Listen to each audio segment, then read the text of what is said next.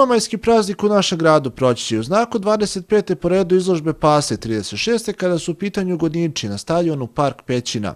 Događaj koji organizuje kinološko društvo Marko Palović i ove godine će oko 10 časova okupiti bez dileme brojne vlasnike, ali i ljubitelje životinja koji će iskoristiti ponedeljak kako bi se pored uživanja upoznali sa novim trendovima u kinologiji. Imamo prijavljene pse iz inostranstva, imamo iz cele Srbije, imamo naravno iz Valjeva najveći broj. Očekujemo oko 300, od 250 do 300 pasa.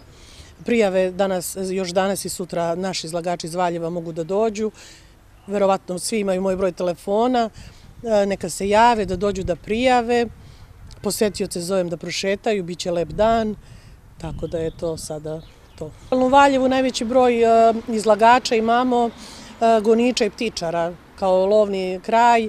Mm, imamo naravno i službene sportske pse, imamo pse za pratnju i za razonodu, to su psi iz 9 FCA grupe, bišoni, maltezeri, ima iz osme kokera, ima labrador retrivera, nemačkih ovčara, Jack Russell terijera. U našem gradu je kinologija inače razvijena, tako da imamo i dobrih i kvalitetnih pasa. Stankovićeva govorila je o pripremama za 1. maj neophodnim ako se želi doći na tradicionalnu izložbu. Zakon obavezuje da psi budu čipovani i da budu znači, obeleženi i da imaju važeću potvrdu vakcinacije protiv besnila. Što se tiče kinoloških propisa, moraju da imaju rodovnik za, za, za svog psa. Odatle se uzimaju podaci da bi se pas, da bi pas bio u katalogu i da bi se ocenio.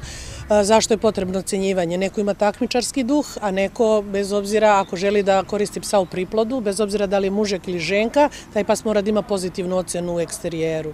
Psi moraju da budu okupani, socijalizovani, sudija mora da pogleda da li pas ima kompletno zubalo, za mužeke da li ima oba testisa, To su neke osnovne ovaj, procedure.